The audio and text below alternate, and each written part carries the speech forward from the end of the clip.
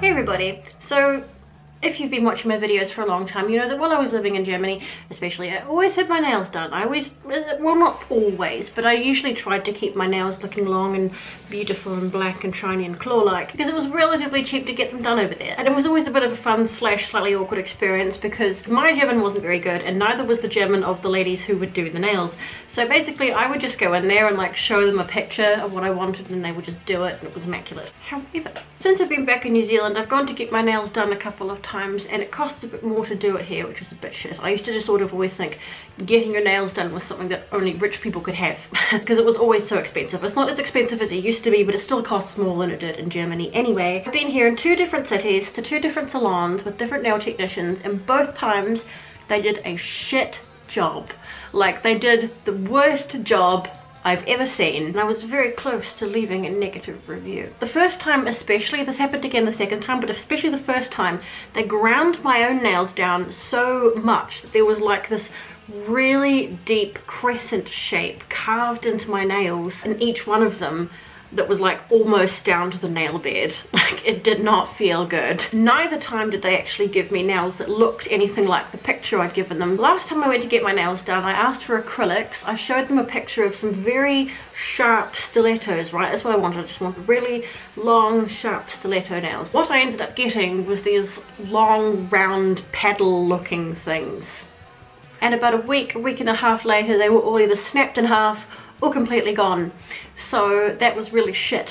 Anyway so when I was there last time they did this technique that I'd never seen before. They advertised they did SNS nails not really knowing what that was. I just said like I'll just want acrylics just like a normal set of acrylics please. The lady was like so unfriendly and so rude. She just seemed to like want to get them done quickly. A lot of you are probably like completely familiar with this technique but I'd never seen it before. And instead of like you know using the wee brush to make the little blob of like acrylic jelly goo um, and spreading it on. Basically they just put like a layer of something on your nail and then dip it into powder and repeat and then file it into a shape and I was like well I could do that. So I looked it up, I looked up to see what materials you would need in order to do the kind of dip powder nails at home. So I went out and I found locally a kit so I could try and do my own nails at home and I don't think I did too badly. I have tried to do my own acrylic nails in the past, you know, the traditional way, but it's such an appallingly bad job. I don't even know how I did it. I don't know how I did such a bad job. Like, like they were, they were, they were hideous. They were not only hideous, but they were painful. And I'm just like, I can't get rid of. It. Like, what do I, what do I do? I hope nobody looks. I was a wee bit hesitant to give this new method a try, but I did it, and it's not perfect by any means. I no longer feel like I can trust a local nail technician not to do a shit job. I mean, for much less money, I can do a shit job myself. So join me now in having a go doing my own nails. My first time ever trying to give myself properly a manicure uh, using this dip powder method. Let's go. As you can see, my nails are pretty terrible. It's very hard for me to grow my nails long. They've always been very soft and brittle. One of the reasons for that is I've had anemia most of my life, and anemia makes your nails really shit. It can actually make them turn inside out. Spoon nails, it's called. I've never had that. But anyway, really hard for me, even with nail hardeners and stuff, to get long, hard nails. That's pathetic. Look how soft that is. So if anybody needs the nails done, it's me. But that shit's so expensive. So I got some plain press-on nails and this kit to try, and in the kit is apparently everything you need to do a salon quality manicure at home. So in the box we've got the activator. I guess this little tray thing is for putting the powder in to make the dipping easier. A wee buffer thingy. Base gel, top gel, a brush softener, a couple of extra brushes, this wee stick for pushing back cuticles, the sponge which I assume is for dusting. Most things I've seen have said to use a brush but I'm sure the sponge will be fine. And this here will be the dip powder. I kind of wonder how many uses you can get out of this little bottle. I've also got this nail file and a pair of clippers and some just ordinary black nail polish. This is apparently Rita Ora coloured nail polish. I don't actually know who she is but I have heard the name before. Some sort of celebrity. Let's begin shall we? I'm just going to start by filing my own nails to make them a bit nicer. The nail technicians, they always file them and cut them right down to nothing. I'm like, surely the extra strength is a good thing. Surely having like your natural nail underneath be longer. Is there like a reason that they always completely cut them off before they get started? Wee bit of a buff so that the glue and everything else should hopefully adhere better. If you can hear a bit of a whooshing sound or a rattling sound, it's because it's very, very windy outside and the window is open. Do I need to put all of it in? Probably. I'll put it all in. I guess I can pour whatever's left over back into the jar. But first, because these false nails are so short, my plan is to sort of put them on not all the way down, but like a wee bit further up and shape them. I know this isn't the right kind of nail tip for doing that, but I don't have any and I'm unable to obtain any. Now in the past I've bought these long stiletto tips off of eBay, but like nothing is arriving in the post because of COVID. We usually get stuff from, from like around Asia. Nothing arriving. Give this a whirl. Stick you bitch. Fingers crossed. Haha. Sorry if the camera slips in and out of focus a wee bit. This camera has had a good long life and it's frankly incredible that it still works after all it's been through. The main problem I have with it is focus. But like me, the main problem I have is focus. I'm sure that anyone who's actually competent with nails is going to watch this and absolutely weep.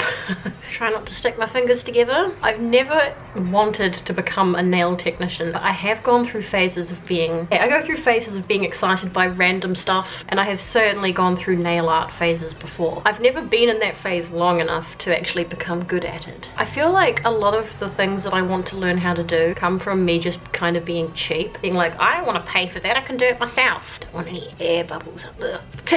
Keep sticking my fingers. I don't know how the glue's getting everywhere, man. I feel like I'm being fairly careful and yet. So there's me wrong kind of tip stuck on. Wait for those to dry. Now for something that I'm actually pretty scared of, which is cutting them to the right shape. Do it quite gently hope I don't fuck up too egregiously. Whenever I've gone to the nail salon, I've been like, can you make them look kind of like claws? And they never do.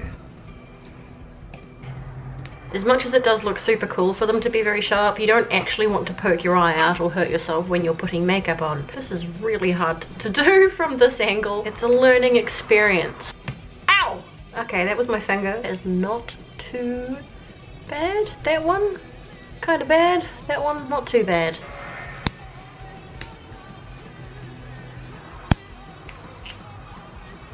That's the part that I thought would be the trickiest and it turns out is pretty tricky. So now I will cut the other hand to match. I've done the other hand and it really turned out that these clippers, perfect for like doing the sides, and making the shape right. So now I know in future, maybe not for longer nails like the thumb I had to use the scissors, but for these shorter ones, this little doodad was perfect. As you can see, the edges are very, very rough. They need to be smoothened down so that I can do the rest of the process. Yes.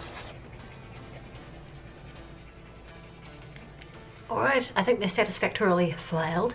So now I'm going to give them a wee bit of a buff. I'm not actually sure which side I use a wee bit of a buff so that the dipping stuff will adhere to the false nails as well.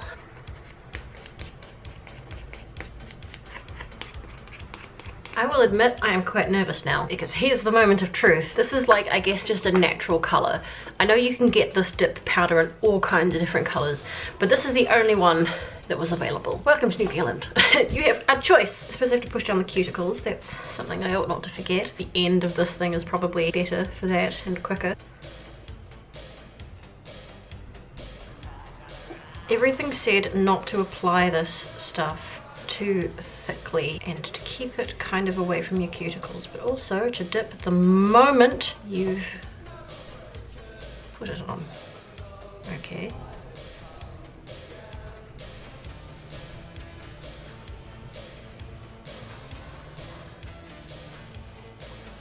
Think that was kind of successful. You do about like at least three coats of this, so dip immediately, alright.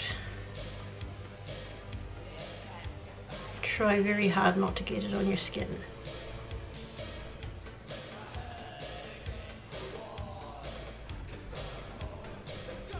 Maybe I shouldn't do just directly one after the other. I'll just do like nail after nail, eh? Other things I read said to kind of start in the center of the nail and then push out towards the cuticles so you don't get too much gel around the cuticles and therefore stuck to your skin, which is phenomenally difficult to get off.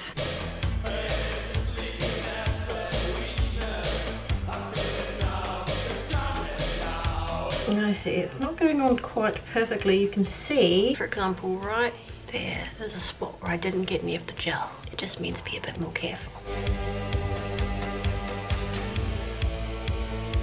apparently if it's too difficult to dip your nails, you can sprinkle the stuff on top. And that will also work. A bit concerned about it going onto my skin and sticking there. It's actually pretty relaxing. Whoops, shit, I got some on the skin. I'll be very quick. Oh, fuck. Ah, getting everywhere. I'll be very quick to remove it. There it goes. Ugh, all guppy. I really hope this works out because I am actually so far kind of enjoying this. Doing stuff with your hands is like pretty relaxing. I figure I'll do like each nail before like dusting off just to make sure it's got time to dry or absorb whatever it does in case I accidentally fuck it with the sponge. No one likes getting accidentally fucked by a sponge. Oh, it's a wee bit lumpy, but it doesn't really matter because we'll be filing it down afterwards anyway. Another two more coats to go after this. So far not, not well, fine. I'm not to say so good. Medium, okay. Next layer. I am making such a fucking mess. This shit is everywhere and I swear it's in my eyes and up my nose. My eyes are kind of burning, which is probably not a good sign.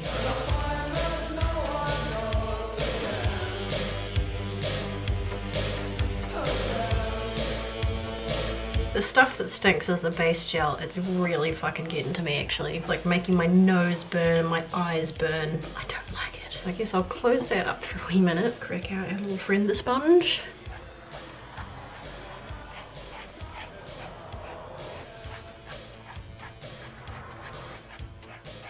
We are not looking all that good. There are chunks missing and there are sort of blits where it's like blobbed out on the side. What I'll do is after I've done like the third layer, very carefully file away all the bits that should not be there, fill in the bits that should be, then apply the activator and that's what does a chemical reaction or something like that and that makes it hard. Right, it's a learning process. Since I've got like a wee bit missing just in here, apparently to make it like a wee bit kind of more claw-like we want to put an extra bit in the center. So let's do that. May not have been a very good idea but we have done it. A bit missing there. A bit missing. Getting there. There we go. Layer number three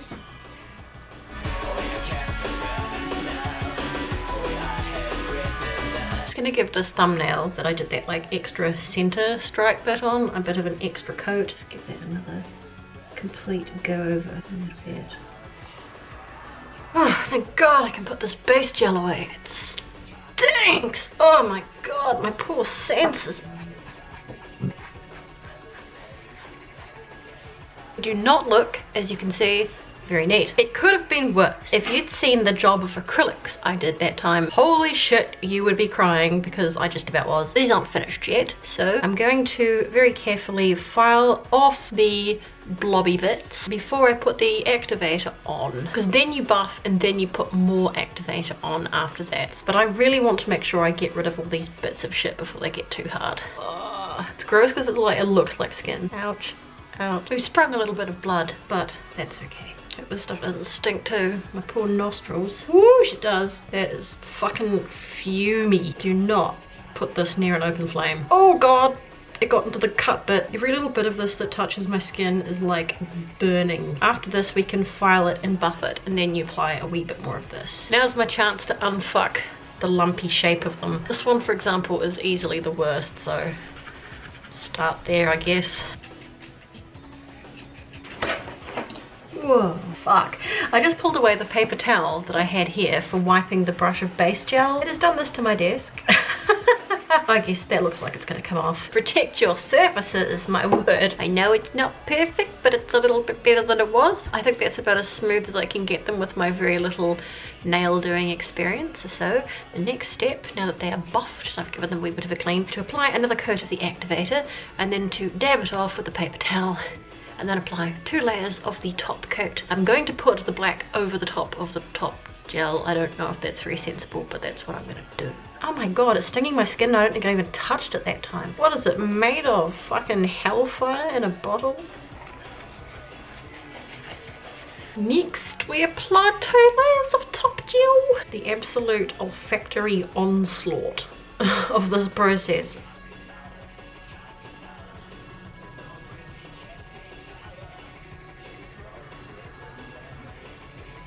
Against my skin tone, this colour looks horrible, doesn't it? That has to be let dry for about 10 minutes and then I will put on the black. Okay, we're dry. The reason I decided just to get ordinary black nail polish rather than a fancy one was because when I got my nails done with SNS at the salon, that's all they used. And I felt a little bit ripped off, honestly. And also because that other shit's expensive. Don't fuck up.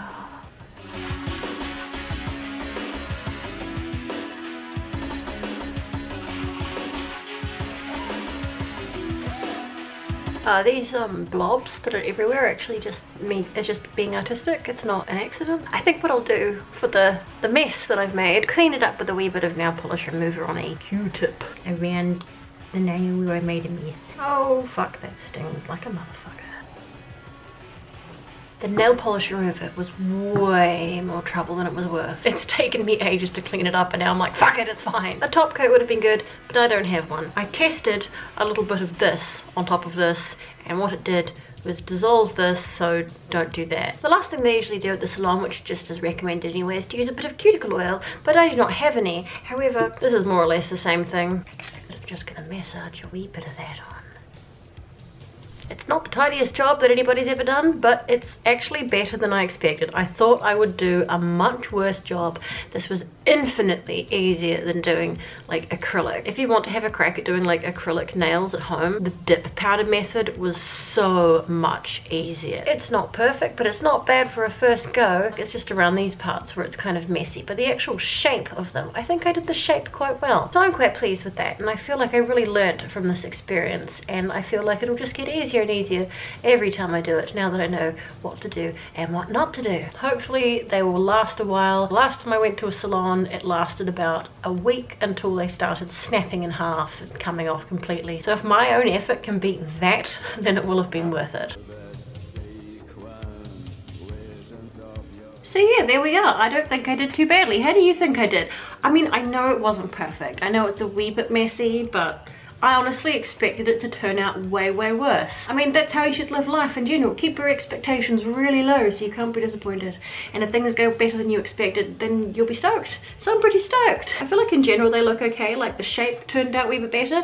And it was especially, I mean, it would have been a lot less difficult if I'd had the proper stiletto tips to already shape. This is normally not as long as I would have them, but you know, the nails that I glued on were the only ones I could find locally and so I will have another crack at getting some longer stiletto tips off the internet eBay usually has them. I don't know how long these are going to last, but they feel pretty solid. They feel like they're not going anywhere. I'm pretty satisfied, and it's very satisfying doing something yourself especially if it's something you've never done before and it turns out okay. It's not a disaster, it turns out okay. It's like, I'm proud of myself. I'm proud of that. Hey everybody, look at me.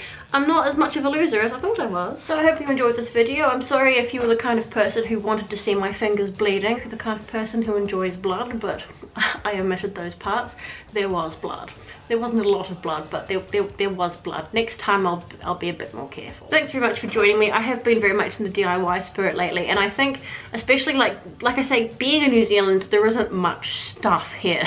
There's not much you can do by way of shopping, especially not online shopping. So you have to get a little bit creative. You have to try and do stuff yourself if you want cool things. So I've really gotten into like the DIY mindset, so I've got quite a lot of DIY stuff coming up in future videos, some of which are pretty ambitious. Try something new that seems difficult, it might go well, and if it does, it's like, fuck yeah, go me. So there's potentially something to look forward to. If you have not already done so, please subscribe to my channel, you know you want to. And as always, take care of yourself, be nice to each other, try new things, you might be good at them. And I will see you next time. Bye bye.